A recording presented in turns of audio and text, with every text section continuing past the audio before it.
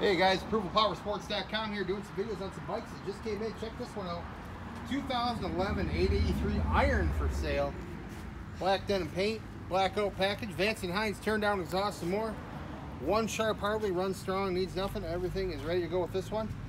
Just serviced at the dealership. All the fluids have been changed. Great bike for the money. That's a 2011 883 Iron, only $54.99.